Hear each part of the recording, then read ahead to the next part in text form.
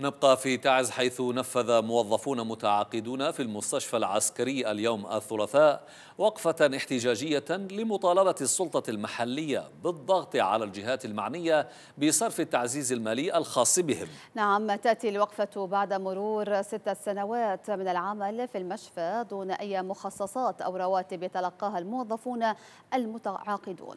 وقال المحتجون في تصريحات لقناة يمن شباب إن تنظيم هذا الاحتجاج جاء بعد أن طفح الكيل من الإهمال المتعمد لقضيتهم.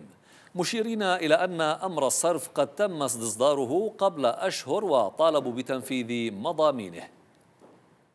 خرجنا اليوم مطالبة بالتعزيز المالي. نحن نعمل في المستشفى العسكري منذ ست سنوات دون تعزيز مالي لدينا أرقام عسكرية. لم ينظر إلى قضيتنا إلى اليوم.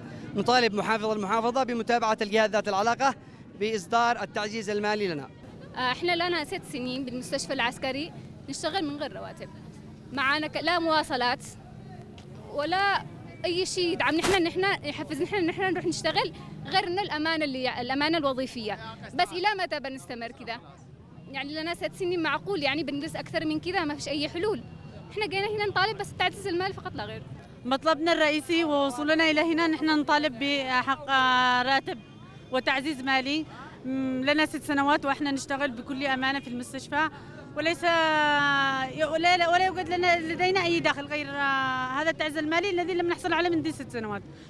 ومعنا أوامر بالتعزيز المالي ولكن لا حد الآن ولم يتم النظر إلى قضيتنا ولا صرف تعزيزنا. وكل واحد عنده مسؤولية.